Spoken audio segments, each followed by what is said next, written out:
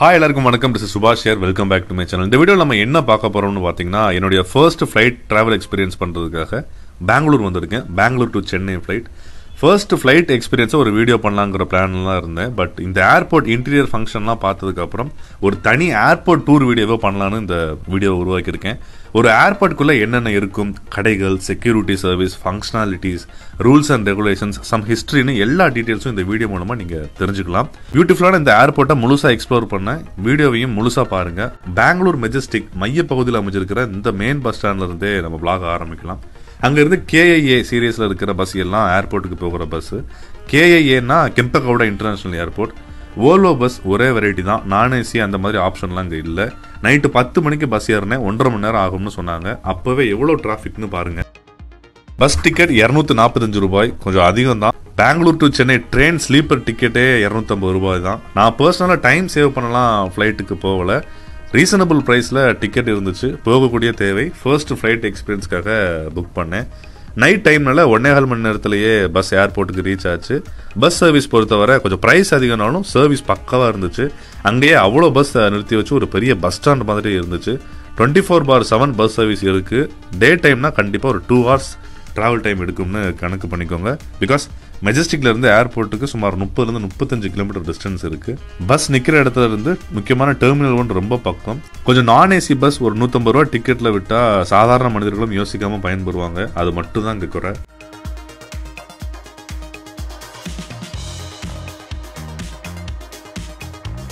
Majestic தவிர்த்து white field போன்ற suburbs of Bangalore லொக்கேஷன்ஸ்க்கு பேருந்து வசதியும் இங்கே இருக்குது நந்தி உபச்சருங்கிற ஹோட்டல் பஸ் ஹால்ட் பக்கத்துல இருந்துச்சு. நூறுல இருந்து நூத்தம்பது ரூபாயில வயிறு நினைச்சுக்கலாம் அதுதான் இங்க சீப் உள்ள காமிச்சதுக்கு அப்புறம் வந்து நீங்களும் அதை புரிஞ்சுப்பீங்க.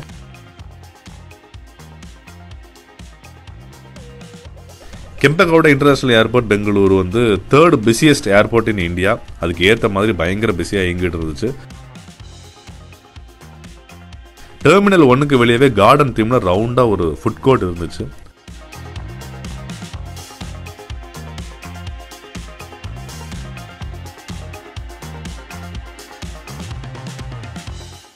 இது ஸ்மோக்கிங் ஏரியாவுக்கு ஒதுக்கப்பட்ட தனி அறை. பெங்களூரில் பொது வெளியில் புகைப்பிடிக்கிறது சட்டப்படி தடை. மற்றும் மற்ற ஊரை கம்பேர் பண்ணுறப்ப இங்கே பயங்கரமாக ஃபாலோ பண்ணுறாங்க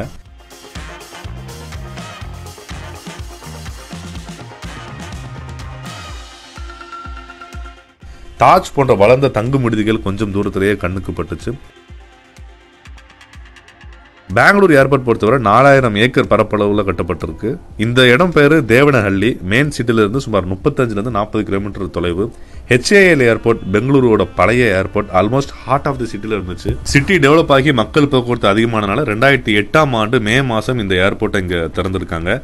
அரைவல்ஸ் பயணிகள் வருகைகள் பகுதி இது.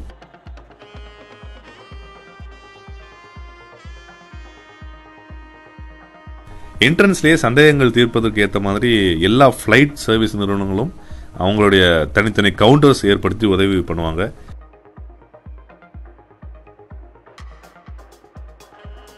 இது பயணிகள் புறப்பாடு ஏரியா. எங்கள் அப்பா பல வருடம் பிழைப்புக்காக அரபு நாட்டில் வேலை பார்த்தனால வழி அனுப்ப எங்கள் ஊர் பக்கத்து ஏர்போர்ட்டான திருவனந்தபுரம் ஏர்போர்ட்டுக்கு பல தடவை வந்த அனுபவம் மட்டும் உண்டு. ஆண்ட்ராய்ட் மொபைல்லாம் இல்லாத காலத்தில் அப்பாவை வழி அனுப்புறப்போ கண்ணீர் பொங்க ஒவ்வொருவர் முகத்தை முகத்தை பார்த்த சமயங்கள்லாம் மறக்க முடியாதது.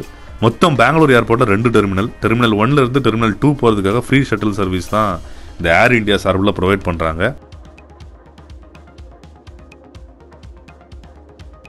இந்த செல்ஃப் செக்இன் சர்வீஸ் கியாஸ்க்கு யூஸ் பண்ணி உங்கள் டிக்கெட் கியூஆர் கோடை காமிச்சிங்கன்னா போர்டிங் பாஸ் வாங்கிக்கலாம். கியூ தவிர்க்க நல்லதொரு வழி அது. அதுக்கு உதவி பண்ணவும் ஆட்கள் இருப்பாங்க.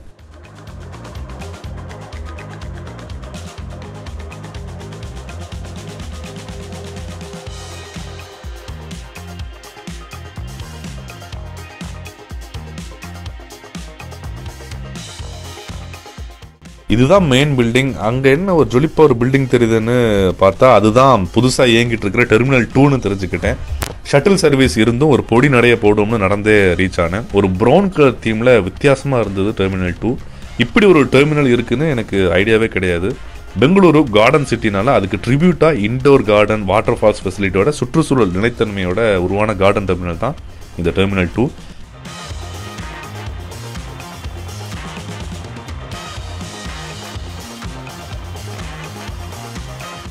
புதுமைத்தன்மை வெளுக்காமல் அந்த டெர்மினலோட அந்த இன்டீரியர்லாம் பிரமிப்பூட்டுச்சு அந்த பசுமை தொங்கல்கள் பிளான் பெல்ஸ் அப்படின்னு சொல்கிறாங்க பிரம்மாண்டத்துக்கு இன்னும் வலு சேர்க்குற மாதிரியான ஒரு தோற்றம் அது.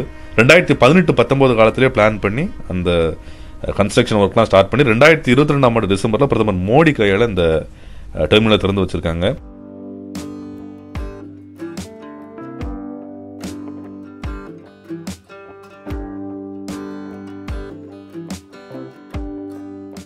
நீங்க பார்க்குற இந்த கம்புகள் எல்லாமே நிஜமான மூங்கில் டியூப்ஸ். ஒரு வனப்பகுதியில் ஏர்போர்ட்டை உருவாக்கின ஒரு ஃபீல் இருந்துச்சு. அஞ்சாயிரம் கோடி செலவில் ரெண்டு லட்சத்தி ஐம்பத்தஞ்சாயிரம் ஸ்கொயர் மீட்டர் பரப்பளவில் இந்த டெர்மினலை உருவாக்கியிருக்காங்க. ஏடபிள்யூஎஸ் மற்றும் பாலிகான் போன்ற டெக்னாலஜிஸோட கைகோர்த்து மெட்டாவாஸ் தொழில்நுட்ப வசதியும் இந்த டெர்மினல் டூ கொண்டுள்ளது மூவாயிரத்தி அறநூறு பிளான் ஸ்பேசஸோட யூஎஸ் கிரீன் பில்டிங் கவுன்சில் வந்து டெர்மினல் டூக்கு பிளாட்டினம் எல்இடி ரேட்டிங் கொடுத்துருக்காங்க. இந்த கார்டன் செட்டப்னால சரௌண்டிங்கை கம்பேர் பண்றப்போ சாலிடாக ரெண்டுலேருந்து மூணு டிகிரி செல்சியஸ் இந்த டெர்மினலுக்குள்ள கம்மியா உணர முடியும்னு சொல்றாங்க.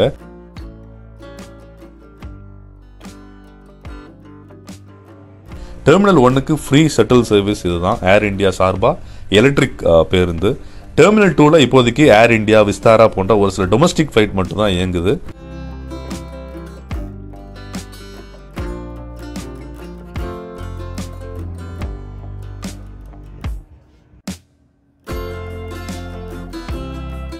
Brigade group think Bengaluru think பிரிகேட்னு இந்த பேனரில் பார்க்குற இந்த Bangalore WTC Amazon office tour video சக்ஸஸ்ஃபுல்லாக எடுத்து முடிச்சாச்சு. சீக்கிரமே அது வெளிவரும். உங்களை பிரமிப்பூட்டுன்னு நம்புகிறேன் இந்த ஏர்போர்ட் இருந்து சுமார் பதினஞ்சு வருஷம் தான் ஆகுறதுனால இவ்வளோ புதுமையாக இருக்குன்னு நினைக்கிறேன். அதுக்கான ரிசல்ட் தான் பெங்களூர் ஏர்போர்ட் உலகத்திலேயே அறுபத்தோராவது பெஸ்ட் ரீஜனல் ஏர்போர்ட்னு ரெக்கார்ட் பண்ணியிருக்கு. செக்யூரிட்டி செக் முடிச்ச அப்புறம் உள்ள இருக்கிற வெயிட்டிங் ஹால் தான் இப்போ பார்த்துட்டு இருக்கீங்க டொமஸ்டிக் மற்றும் இன்டர்நேஷனல் ஃபிளைட்ஸ் மொத்தமாக இந்த டெர்மினல் ஒன்ல இருந்து தான் இயங்குது. செப்டம்பர் ரெண்டாயிரத்தி இருபத்தி மூணுக்கு அப்புறம் நெரிசல் காரணமாக டெர்மினல் ஒன் முழுசா டொமஸ்டிக்காகவும் டெர்மினல் டூ முழுசா இன்டர்நேஷனலுக்காகவும் ஒதுக்கப்பட போறதா தெரிஞ்சுக்கிட்டேன். சுத்தமான கழிப்பறை வசதியும் மற்றும் தண்ணீர் வசதியும் அங்கே இருக்கும்.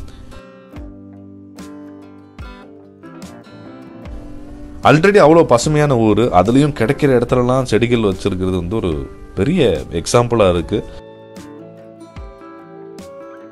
பேக்கேஜ் செக்கின் ஏரியா முடிச்சுட்டு உள்ளே போகணும். அங்கே நிறைய ஷாப்பிங்க்கு கடைகள் இருக்கும். லிட்டரலி ஒரு மால்குள்ளே வந்து ஃபீல் இருக்கும். நைட் நேரம்னால களைப்பில் எல்லாரும் வெயிட்டிங் சேர்ஸ்லாம் வந்து ஃபுல்லாக இடம் பிடிச்சி தூங்கிட்டு இருந்தாங்க. ஒரு சிலர் நல்ல கைலி கட்டிட்டு நல்ல வீட்டில் படுத்த மாதிரி சுகமாக தூங்கிட்டு இருந்தாங்க.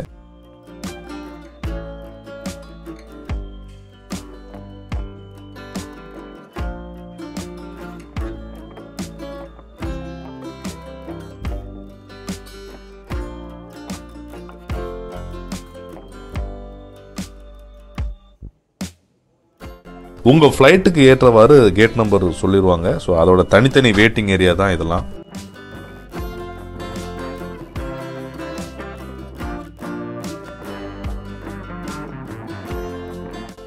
அவ்வளவு கடைகள் இருந்தாலும் ரொம்ப அடிச்சு பிடிச்சலாம் யாரும் பொருட்கள் வாங்குறத நான் பார்க்கல.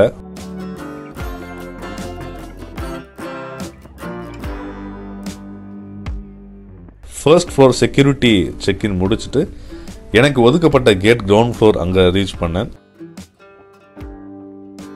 பெங்களூர் ஏர்போர்ட்டில் நிறைய பாரும் நீங்கள் பார்க்கலாம். இங்கே கடைகள் விலையெல்லாம் பார்க்குறப்போ இது பெங்களூர் ஏர்போர்ட்டா இல்லை துபாய் ஏர்போர்ட்டாங்கிற மாதிரி இருக்கும்.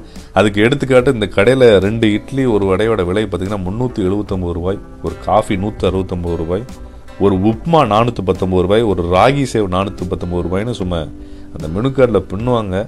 நம்ம வேடிக்கை மட்டும் பார்த்துட்டு செவனேன்னு உட்காந்துக்கலாம் பேக்கேஜ் செக்கிங்லேருந்து ஒரு ஃப்ளைட்டில் போகிறது வரைக்கும் தெளிவாக என்னென்ன வேணும் என்னென்ன பண்ணலாம் பண்ணக்கூடாதுங்கிறது உட்பட என்னுடைய முதல் ஃப்ளைட் ஜேர்னி எக்ஸ்பீரியன்ஸ் வந்து ஒரு பூரிப்பூட்டக்கூடிய வீடியோவாக இது தொடர்ந்து வரும். மிஸ் பண்ணாமல் பாருங்கள் இந்த வீடியோவை உங்கள் வட்டாரத்தில் நீங்கள் ஷேர் பண்ணுற பட்சத்தில் ஏர்போர்ட் எக்ஸ்ப்ளோர் பண்ணாதவங்களுக்கும் இனிமேல் விமான பயணம் புதுசாக பண்ண போகிறவங்களுக்கும் யூஸ்ஃபுல்லாக இருக்கும். இந்த வீடியோ உங்களுக்கு பிடிச்சிருந்தனா லைக் பண்ணுங்கள் உங்களுடைய எண்ணங்களையும் கருத்துக்களையும் கேள்விகளையும் தவறாமல் கமெண்ட் செக்ஷனில் பதிவு பண்ணுங்கள் அண்ட் நம்ம சேனல் இது போன்ற வீடியோஸை தொடர்ந்து பார்க்கறதுக்கு தவறாமல் சப்ஸ்கிரைப் பண்ணுங்கள் மீண்டும் ஒரு வீடியோவில் உங்களை சந்திக்கிறேன். நன்றி வணக்கம்.